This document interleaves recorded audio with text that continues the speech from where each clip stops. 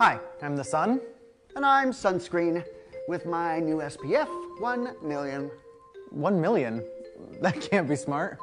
No, people don't need you, they need me.